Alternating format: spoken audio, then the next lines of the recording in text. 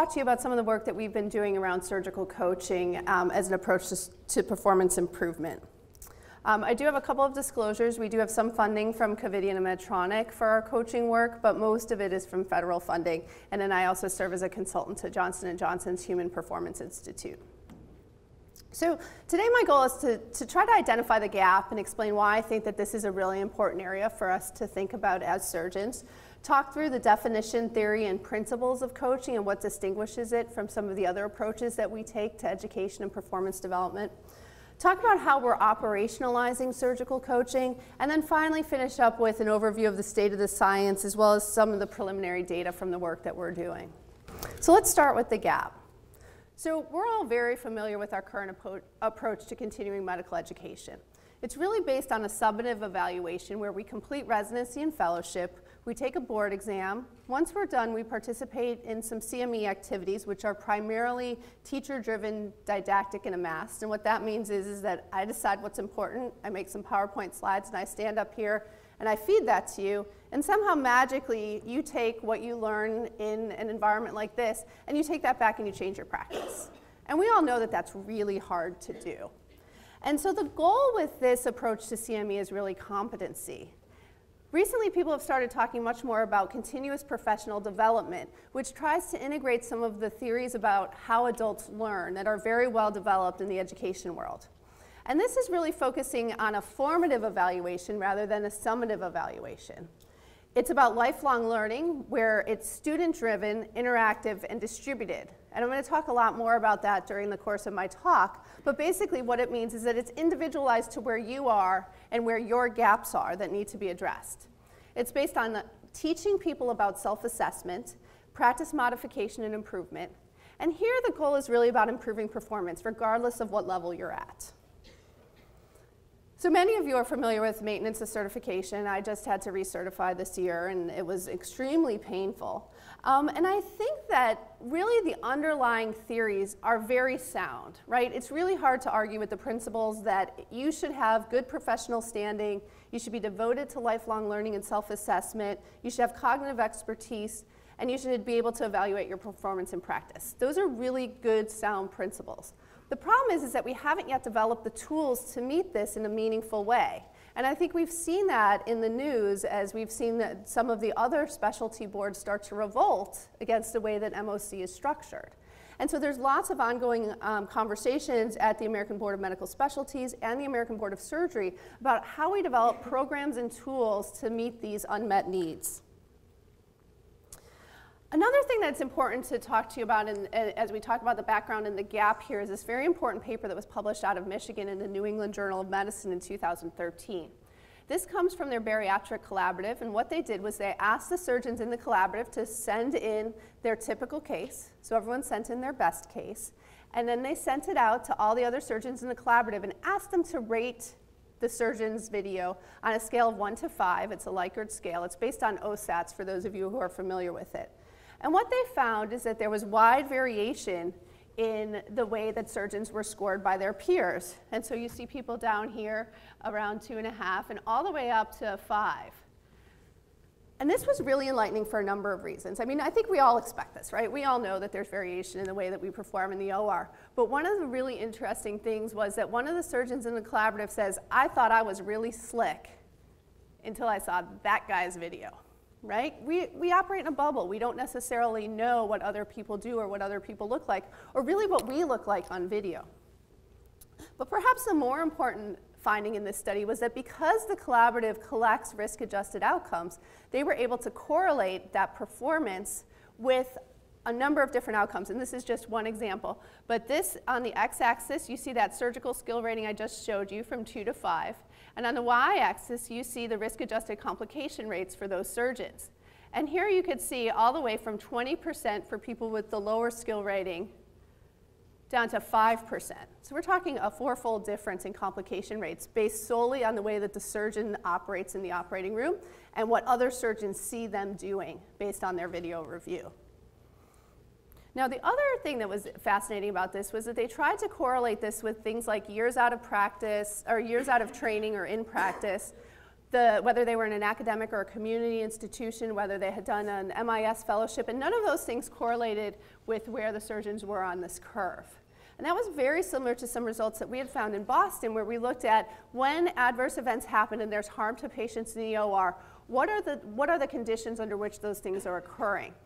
And surprisingly, they're mostly under routine operations as opposed to index operations. So we all think Whipples and um, esophagectomies, but actually it's the lap choles and the hernias where these things are happening. Most often in blue in each of these bars you could see about three quarters of the time it's an experienced attending operating within their specialty doing what they do every day. And so the question is then, well, what's happening here? And what we find is that actually most often it's because there's some complicating circumstance in which the surgeon is operating. So 60% of the time there's a patient complexity, right? The BMI is 50, it's a redo, redo, there's some reason that it's more complicated. Or there's a system or organizational failure that they don't deal with as appropriately as they could. And so if we think about our current approaches to improving performance, what we've mostly focused on from a policy standpoint have been focused on this idea of getting people to the high volume surgeons, right? So regionalization, selective referral, or increasing our specialization. We're all narrowing the scope of our practice. We're doing fellowships after residency. And really, none of these things are going to get to the heart of the problem, which is helping people to figure out what to do when unexpected things occur in the operating room and to continue to improve their performance throughout their career. And so this led us to the concept of surgical coaching. We looked at other disciplines and said, okay, well, how do people do this in other areas, in athletics, in education, in music? Really, they do this almost throughout um, a, a, number of other disciplines. And so many of you may have read the um, New Yorker article that Atul published.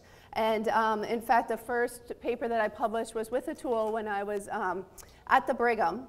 And we um, did some video review, and this is basically a proof of concept study where we just had four surgeons review their videos, and everybody thought it was fantastic. So we had people from their first year in practice all the way up to the most senior people in the institution do it, and across the board, they thought that it was really, really very helpful. Okay, so the pushback I get on this is we coach, we've been doing this forever. This is just a fancy new name for the same thing that we've been doing. And really it's not. And it's really about changing our mindset. So I want to talk to you about why I think that this is different than our current approaches. So let's start with a definition. Um, there's a number of different definitions out there. Um, these are two that I think really capture the essence of what it is that we're trying to do. It's about unlocking a person's potential to maximize their own performance and helping them learn rather than teaching them. It's about providing objective and constructive feedback to help someone recognize what works and what can be improved and inspire them to maximize their potential. Now, the thing that you'll notice about these definitions is that they're really focused on the coachee, right? The coach is really an instrument who's there to help facilitate the coachee in their learning. They're not teaching them something, they're trying to bring out and teach that person to assess themselves and to question what it is that they do and how they can do it better. So there's three core characteristics that I think are also very important. The first is the power balance. So by nature, coaching should be a collaborative relationship where neither participant takes a superior role. Again, so this is very different than training our trainees, right? It should be about self-directed activities, so it should enhance the intrinsic motivation of surgeons um, and enable them to follow their self-concordant goals. Again, individualized goals, individual gaps in practice, individualized areas that we want to work on as surgeons. And it should develop capacity. Ideally, you should monitor the progress of the coachee until they start to develop their own habits of self monitoring. And so the idea of coaching is as you work with a coachee, you give them selectively less and less feedback as you go along to the point where the person is actually able to continue the self-assessment on their own. There's a specific type of coaching called peer coaching, which is the principle that we primarily follow. We do have some programs that are expert coaching, but in general, what we're promoting is peer coaching. And this is a distinctive type of coaching in which peers who should be at about the same level of knowledge, engage in an equal, non-competitive relationship that involves the establishment of goals, observation of a task, self-evaluation and coach feedback to improve task performance and support the implementation of changes. Now, we, we just had our coaching session, uh, coaching session in Michigan last week, and at the end, several of the coaches said, this really felt equal. It felt like I was learning as much as, as he was. And I was like, that's it. That's the point. That's what we're trying to get to. And I think, you know, there's been pushback about the term coaching, but I really think it's important that we have it focus on one person's practice at a time as opposed to both to make sure that it's focused on the specific needs of that one person. And there's been a review actually that was done of looking at peer coaching uh, specifically in healthcare, and that suggests that it's really promising for, for professional development and training. So let's talk for a minute about adult experiential learning. So we know, sort of the collective we, that adults learn best when they're active participants in their learning. So it should be about, again, self-directed learning, facilitated self-reflection, and allowing an individual to identify and pursue their own goals. And the content has to be relevant. I think that was what frustrated me so much about you know, studying for my recertification exam is that I'm a breast surgeon. I don't do trauma, I don't do vascular, you know, and so spending time thinking about those things that I'm really never going to do was really a little bit frustrating when what I really wanted to do was to be able to read the most recent studies and be able to make sure that I was up to date on everything in my field and to learn about how I could improve what I was doing as an individual. And then finally, it's based on this concept of constructive feedback. And I think constructive feedback is a term that we hear a lot and we throw around a lot, but I'm not sure that we all give constructive feedback as surgeons. Because constructive feedback is descriptive, specific, and non judgmental. So it's not just saying, uh huh, or nice job. It's saying exactly what it is that's nice, exactly what it is that they're doing appropriately, so that they can then imprint that, or being very descriptive about what they could be doing better. So it's focused on observations of behaviors and the impact of those behaviors rather than on assumptions or inferences. And it's followed by an opportunity for the person that you're giving feedback to to consider and respond. So you cannot agree with the constructive feedback that you give, and you can challenge the coach or the person giving you the feedback with why you think that your approach is better. And ultimately, you know, good feedback and, a good, and, and good questions, and we'll talk a little bit more about questioning, really should lead to a discussion and a back and forth between a coach and a coachee. So there's a concept called deliberate practice that many of you may have heard of, and this comes from somebody named Hans Ericsson. And he says that it's critical for the development or attainment of expertise. And there's four things that sustained deliberate practice requires. It requires individual reflection on one's own practice, the identification of areas for improvement, specific intentional adjustments to your practice, and an evaluation of the impact of those adjustments. And without ongoing formative assessment such as this, then progress will stall in a state of proficiency. And so he actually writes about this in healthcare and says that clinical practice is not deliberate practice. While we do some of this stuff on the fly, very rarely do we really step back and take a look at our practice and ask if we're doing things in the best possible way. And so this is a, a figure from Ericsson which shows that if you think about everyday skills, so here we have like walking and talking, right? Over time they become autonomous. We don't think about these things anymore. We sort of do them in an automated way. And the same thing can happen with higher level skills where you can, again, stop really thinking about things and you do them rotely, right? So it's 20 years into practice, it's really hard to continue to challenge yourself to ask, am I doing this the best way that I can? And so the idea of coaching really is to try to prevent people from, from ending up in this area of arrested development and move them up to expert performance. The other place that you may have seen this was in Daniel Pink's book Drive, where he talks about the asymptotic curve of mastery. And it's this idea that no matter how good you get or how much experience you get, you should always be in pursuit of perfection, and there's always room to improve. Now, it's incrementally obviously going to get smaller, but you're never going to achieve perfection. It's the same way, reason that professional athletes and professional musicians continue to have coaches to challenge them and continue to try to, to tweak different aspects of their performance throughout their entire career. I also really like this quote, which um, was actually from a book called The Fifth Discipline The Art and Practice of the Learning Organization, which talks about mastery. It says, People with a high level of personal mastery live in a state of continual learning. They never arrive. Personal mastery is not something you possess, it's a process and a lifelong discipline. Now that's very different than the way that we think of a master surgeon, right? We think of a master surgeon as sort of the person who has arrived, the person who everybody calls in the OR when they get into trouble. And so many of the concepts around continual evaluation, continual performance that you need for coaching I think are actually in direct conflict in some ways with the traditional surgical mindset. And I'm going to talk you through two of these and why I think we need to think about finding ways that we can transition out of our traditional mindset in order to undergo um, this type of activity. So let's talk first about expert versus learner. So we're all experts, right? I mean, when you're an attending surgeon, you take a patient to the operating room, you have to view yourself as an expert, patients have to view you as an expert, the people in the room do, right? And so to be an expert, you have to know all the answers. And because you know all the answers, you show little curiosity. You rely in general on habits, routines, and rules, and you feel competent, complete, and comfortable. And we should feel that way in the operating room, right? But the problem is, is that right now we don't really have any space in which we can transition into being a learner, where we wonder about answers, we show great openness, we challenge assumptions and beliefs, and we continuously test our competence, accept discomfort, and tolerate conflict. And so the idea of coaching is to really provide a safe environment where we can support each other to spend more time in this learner mode. The other um, mindset that I wanted to, to bring to your attention is this concept about learner responsibility. And again, this gets at why peer coaching is so different than training of residents and fellows. So when you train residents and fellows and medical students, in general, you're in the rescue mode, right?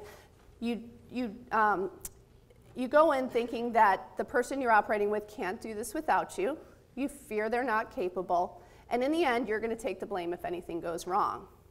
The problem is, is that what this does is it's very weakness focused. You make decisions and give directions, and so it's results oriented and it fosters dependence. And I think that this is part of the problem right now is that we're not really transitioning trainees to independence anymore because of some of the rules and regulations that have limited us, and we haven't yet quite figured out how to make those transitions. Now, on the other hand, when we talk about peer coaching, it's really very responsibility focused. So the other person has the wisdom and ability, and it's your job to bring it out. The other person has a choice about how to react and respond. And because it's the other person's practice, they have to live with the results of what you do. So if you change something in their practice that isn't going to work for them and it changes the way that they're able to function in their environment, that's not a very good thing, right? That's not what we're going for. And so because the other person has responsibility and you're helping to try to develop them, it's really strength-based. It stimulates thinking with great questions, it's learning oriented, and it really builds capacity on the part of the person that you're working with. So let's talk about how we operationalize this for surgeons. So one of the things, I started doing this coaching work right as I was transitioning from Boston to Wisconsin, and I was really fortunate when I got to Wisconsin because we had some fantastic coaches there. So I was able to go and spend some time with the Badgers coaches. At the time it was Brett Bielema. Um, and then Bo Ryan, who's been the um, Big Ten Coach of the Year a number of times and really is a fantastic coach. Um, but I also went over to the School of Music and spent time with, with um, coaches who, who coach musicians, as well as in education. And in fact, we ended up recruiting um, one of the professors from the School of Education who has developed the coaching programs for teachers in schools to be part of our team.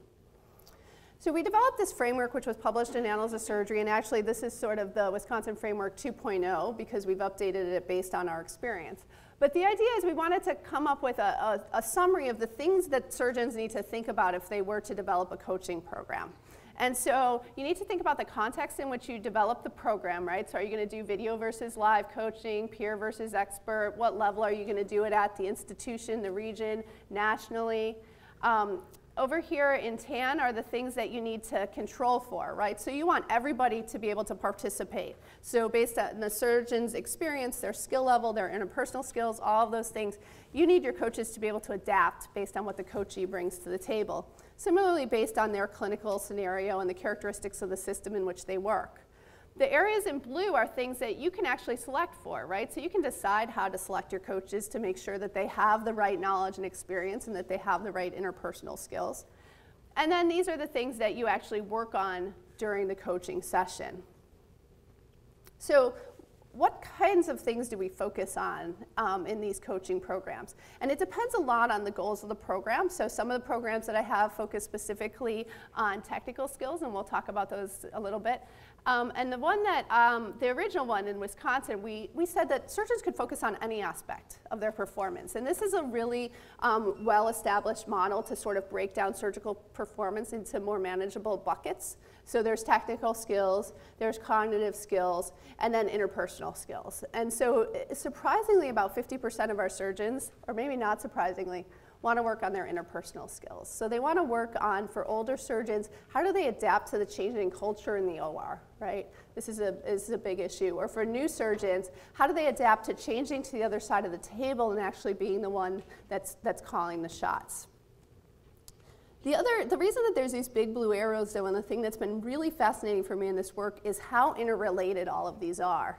So in all of the conversations that we have, the surgeons will start focusing on one of these components, yet they'll often, the, the conversation very quickly and the questioning very quickly moves into some of the other ones, right? Because you have to be able to communicate appropriately with your assistant in order to change your exposure. And so they're all very interrelated.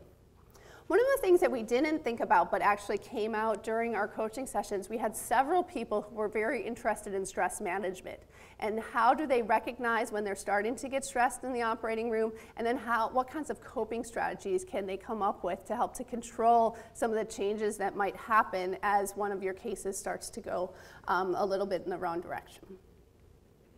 So the activities of coaching, so this was sort of that bottom white thing, what is it that we're trying to teach coaches to do? It's really based on, on three concepts. So the concept of active listening, so it's critical to develop trust, rapport, and um, develop powerful questions. You have to hear what people are saying to you.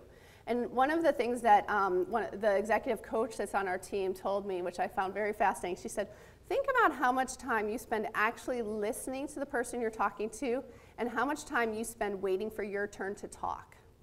So very often we're already thinking about what it is that we're going to say to contribute to the conversation rather than actually absorbing what it is the person in front of us is, is saying to us. And that's a cultural thing here in America. So powerful inquiry, we try to teach people to use open-ended questions to challenge in a non-competitive, non-threatening manner. And then constructive feedback, which we've already talked about. So in talking to other disciplines, we found that there was really consistency around what makes an effective coach. They need to have good communication skills. They need to be adaptable. They have to be able to assess and understand different coaches' needs and perspectives. They have to be able to motivate, have a broad knowledge base, and be respected in the field. So these are just two quotes from other disciplines from athletics. Successful coaches are masterful communicators, and unsuccessful coaches often fail, not because they lack knowledge of the sport, but because of poor communication skills. And then from music, so the ability to adapt, like I say, situational is 95% of being a good coach. Reading the situation and figuring out what each person needs. So another decision is video versus real time. So we decided to go with video for a number of reasons, and um, when I show you the results, you'll see that this didn't work out as well as we'd like it to. Um, but there's a number of reasons that video is very good. Um, probably the biggest one is that it really allows you to see yourself operating, and I think that in and of itself can be really informative for people. It's been shown to be more successful in sustaining behavior change. It confers a time savings of 50 to 80%. So again, going and, and, scrubbing or watching someone perform a Whipple in the operating room takes much longer than sitting down with a videotape where you can fast forward to the salient points and watch it in an hour. So we limited all of our coaching sessions to an hour, just understanding the issues with surgeons' um, schedules. It removes concurrent responsibilities on the part of the person being coached so that they can allow full concentration on their performance assessment. No matter how much you're trying to focus on getting feedback and thinking about your performance and what it is you're doing, at the end of the day, there's a patient on the table and you're going to be focused on that patient and not necessarily on your performance. So by using video, you can watch it in a, in a, in a remote setting. And then finally, it mitigates some of the medical, legal, um, and credentialing complexities. Um, we've spent a lot of time talking to, to lawyers about this, and really everyone feels that this is um, peer review, just like M&M, and that it should be protected from discoverability. So video capture in the OR, um, we've come a long, long way. And we have a long, long way to go. Um, many ORs are equipped with multiple angles and different cameras, and um, one of the institutions in our study had that, and, and their video footage was, was really fantastic. For others, for people that are in small community hospitals, we would send them out um, video glasses. We made um, boxes with these GoPro cameras as well as omnidirectional microphones to try to allow them to capture the room. And it worked to some degree, but it, you know, it's not perfect. Um, you know, we're getting there. And then timing. So this was a big question for us. So when do you watch it? Do you walk out of the room and go and watch your video? Um, and we really thought that this quote from music was really telling. If you watch your video the next day, it's very different than if you watch it right after. Because if you watch it right after, you remember exactly what you were doing and you are making a direct map, so you miss a lot. Wait a week. So we in general try to get our surgeons to watch their video about two weeks after the case, thinking that they will have an, that it's close enough that they can remember the specifics of the case, but it's far enough away that they can be a bit more objective.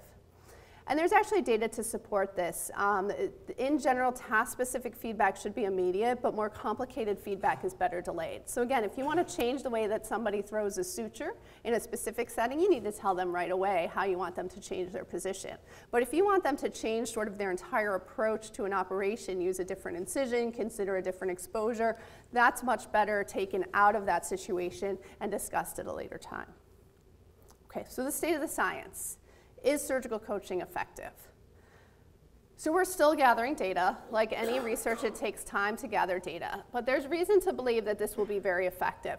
So these are two studies that were done in education, um, actually in the 1980s, where teachers either participated in traditional professional development activities, so workshops, that kind of thing, um, or they were peer, they were, they were partnered with a peer coach to help them then adapt that back into their practice. And the effect size here are really amazing, right? They went from 20% practice change up to 95%, and in this study from 15 to 75%. I mean, those are huge effects. If we can even get a third of that, right? I mean, that would be amazing. Um, in internal executive coaching, they looked at productivity. Again, people who participated just in a training program, or they worked in a, uh, participated in a training program and then were, um, again, paired with a peer coach. And you see a similar effect size. And these are really this four-fold effect size that's pretty consistent across the literature on coaching.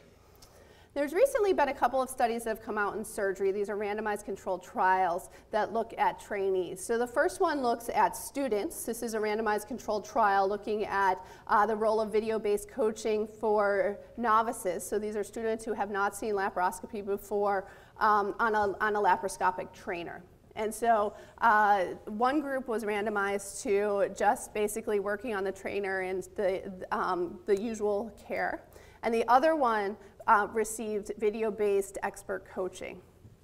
And you can see that there was a marked improvement um, in the performance of the people who received the coaching, whereas those who did not remained very relatively stable, despite starting at the same level. We see similar results for uh, trainees. So these are residents who were on a bariatric surgery rotation in Canada.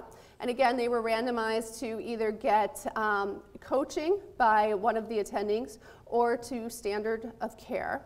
They were evaluated on OSAT, which is that same um, instrument that the bariatric surgeons use. This one, again, specifically developed for residents. BOSATs, which is a bariatric specific version, and then they looked at technical error. And so you can see here that the control, that the, there was no difference between the control group and the coaching group when they started, and there was no difference between the control group when they started the rotation and when they finished the rotation. But there was a significant improvement for the coaching arm along all of these different domains. And again, there was a sort of a second piece of this, which I found even more fascinating, which was they asked the trainees to score themselves, and then they were scored by experts. And they compared the two.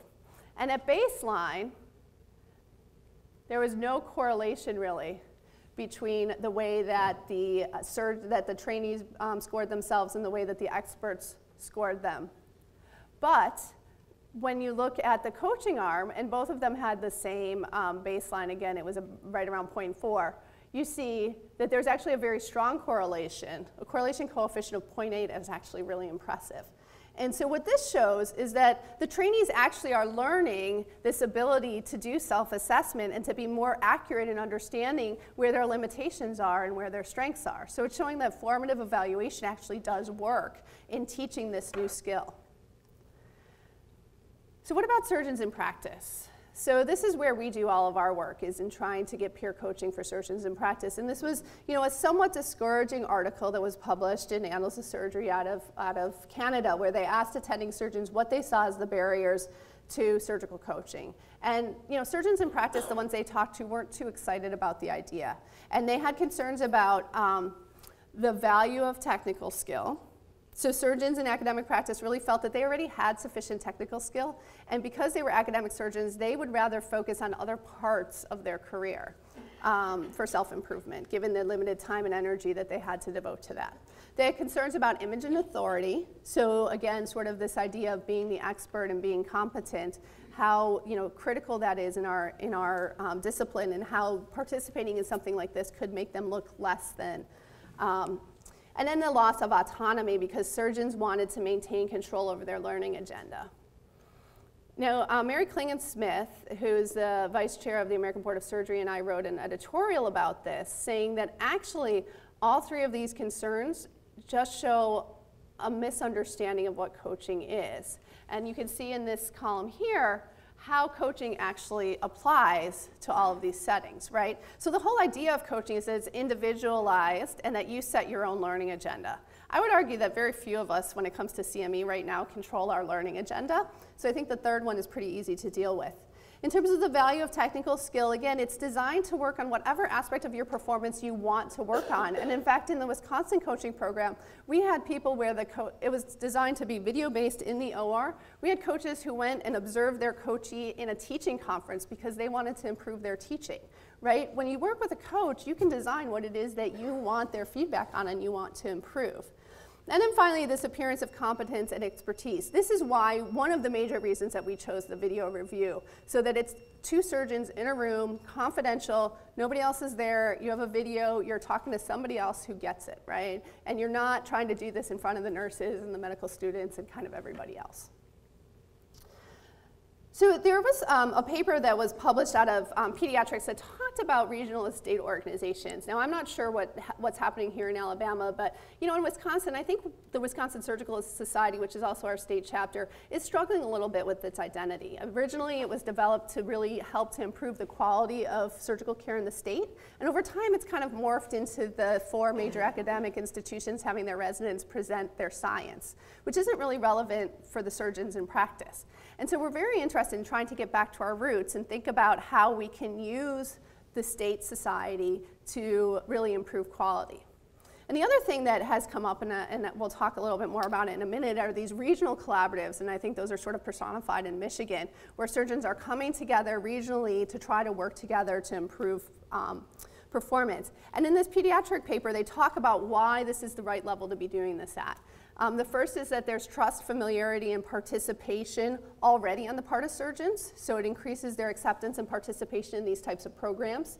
You can engage physicians across practice settings. It's a small enough community to afford some familiarity with and respect for the coaches. And um, I already mentioned this regional collaboratives.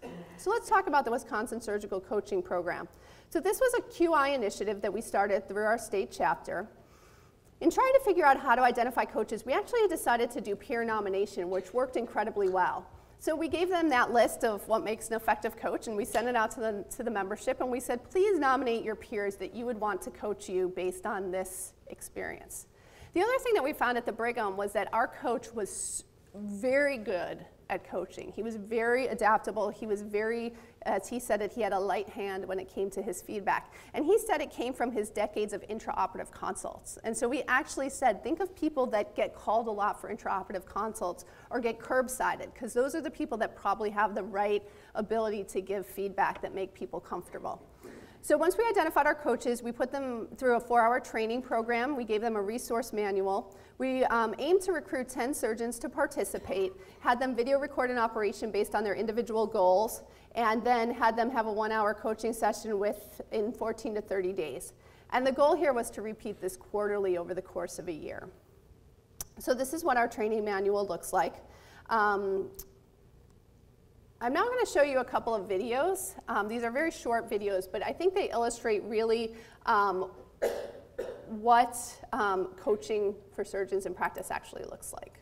So you got through that initial difficult portion, and you were talking about uh, another area that you kind of struggled in terms of progressing. You want to fast forward to Yeah, what you're because talking about I there? mean, so here the the residents are all pretty good at isolating Mm-hmm. the chord structures, and so there's there's not much to see here. So if we fast forward to, really, I think the next part that I tend to struggle with is the actual mesh placement itself, and so, um, yeah, I've never never really loved the Weitlaners. I um I think they tend to just be more in the way, and, and the ones that we had where I trained never really held all that well, and so I, I've never been a big fan of using them. But so at the same time, then I usually end up sacrificing one hand to try and hold things open while I'm trying to follow with the, their suture on the mesh, and then trying to hold the mesh in place. And so I have kind of all these different things I'm trying to do, and I just feel like I end up with a finger in the surgical field holding the mesh down, and another hand doing something that's probably not ideal. Sure. And there's a bit of stuff in there too. Yeah. Got your Penrose, you got a clamp, it looks like on the external oblique Yep. on top and bottom. Looks like the medical student's trying to help you in there a little bit. Um, uh, did, I suspect that the people you trained with weren't terribly fond of the Weitlaner as well, or They they use it. I think they just use it a lot better than I do. Okay. Um, I, I just never. I always found that it was kind of in the way. I certainly would suggest that might be a simple way to uh, get rid of some of the stuff that's in your way there and, and really clear off, uh, for instance, the shelving edge, Mm-hmm. um, so that you can see for getting getting your finger out of there and getting a little bit safer. Mm-hmm. Right about there, you can Yeah. see your. I can see what you mean, where the, the needle's going very close to your finger. Yeah, there. it's it's pretty close, and um, and then you know at the same time, just kind of things are flopping around and just not not set up well to Mm-hmm. make things move smoothly. It, it always ends up looking pretty good in the end, but I think it could certainly be a little bit better. Yeah. This is a fairly big guy too. It looks like. Uh, Mhm. I would bet that the the Weitlaner might give you some assistance there. Mm-hmm. Absolutely. The coachee is doing a lot of the talking, right? He's thinking about his practice. He's talking through where it is that he's struggling. And just as a little bit of, of background, this is a very busy MIS surgeon who does about you know 250 hernias a year. 99% of them are done laparoscopically. When he does them open, it's you know those complicated cases we talked about where things are more likely to go wrong. It's a redo, redo. You know, there's some reason that he's doing it open. And so the case he chose to focus on was open hernia repair. The next thing I wanted to show you, oops, sorry about that, is um, the interpersonal skills piece. So far, most of our discussion is focused on the technical aspects and the kind of cognitive approach to these cases. Um, let's talk a little bit about your interpersonal skills and how they relate in the operating room. How do you feel like you get along with folks? I, so I, I think I'm a pretty easygoing guy and tend to get along with, with most people in the OR. So you walk into the OR. Tell me what kind of things you do. Um, so usually I just go and help the nurses and start prepping the patient. Okay. They appreciate that, I assume. I, I think so. I hope so. So maybe we can start by looking at the beginning of your case Yeah, when, sure. when you first walk into the room. Stop it there for a second. Your thoughts. Uh, it, it, it does look like kind of everyone else in the room maybe tensed up a little bit, um, which I don't think I've ever really noticed before. And do you think it's something from the past, or is it something Uh, going on that day? No, I mean I think you know when when getting to the OR and usually cases start late, I maybe get a little frustrated and just try and move things along to try and get back on time, and and maybe that's that's kind of a weird environment for everyone. Okay. And I think that's an important thing to look at too, because you know clearly the the team is there to work with you, Mhm. and maybe there's some things we can identify that would uh, put that in a better position to begin Yeah. with. That'd be good. So you can see, right, the value of just taking a step back and looking at what's happening in the operating room. I just want to finish by talking about the, cure, the, the peer coaching that we're doing in, um, bariat- in the Bariatric Surgery Collaborative in Michigan. So this is funded by an R01 from NIDDK um, that Justin Dimick and I are, are co-PIs of. And the aim of this really was to adapt our program to Michigan and then to evaluate the impact on the peer ratings of surgical scale, so that OSAT scale that I showed you at the beginning, as well as to evaluate the impact on risk-adjusted complications. And so who are the coaches? So the surgeons in the bariatric collaborative said, I don't want anybody coaching me who's below me on this scale. And so we took that, that, those top performers, the top quartile, and trained them to be coaches. But everyone is participating. So even the coaches are acting as coachees. So there is nothing, again, there's nothing about this that says that you're not performing well. This is about improving for everybody. And in fact, I will tell you that the coaches in this are our most enthusiastic coachees because they went through the training and they really see the value. Um, I'm going to skip over Project Adopt, but um, this is an expert coaching program that we've developed that has sort of three parts where surgeons who want to learn how to do laparoscopic inguinal hernias and already do other laparoscopic um, procedures and do open hernias can come. We have a day long didactic session. There's then some proctoring. They, they scrub with an expert, and then they transition into a 10 case um, coaching program. And again, the, the uh, reviews from the participants of this have really been outstanding. These are people who have taken the weekend courses and really just not been able to make that transition back into practice. And they really feel like having a coach there that they can call and that can review their videos for their first 10 cases made all the difference.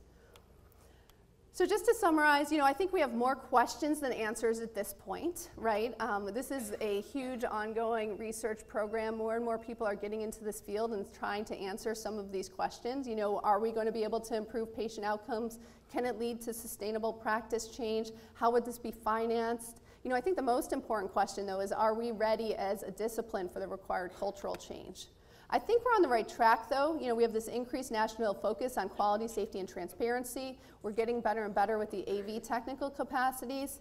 Coaching has a lot of face validity. You know, as I talk about this to people, they're like, this just makes sense, right? Why aren't we doing this already? These are surgeon-led initiatives. They're constructive and not punitive. And the first randomized controlled trials that have been done in other disciplines and with residents and students suggest that this is really going to be effective. So in summary, I think coaching has the potential to improve performance throughout surgical careers. It incorporates concepts of adult learning theory. It has the potential to address variation in performance and to ultimately improve quality, safety, and outcomes for our patients. So with that, I'd just like to acknowledge the huge number of people that um, participate in the studies that I discussed, and thank you for your attention.